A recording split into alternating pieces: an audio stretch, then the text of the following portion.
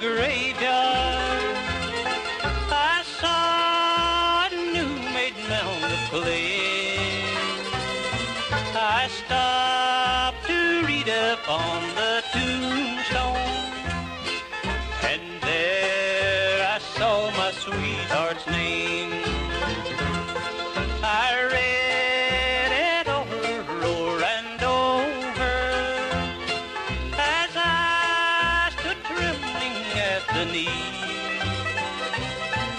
It was the name of my darling that they had laid away that day.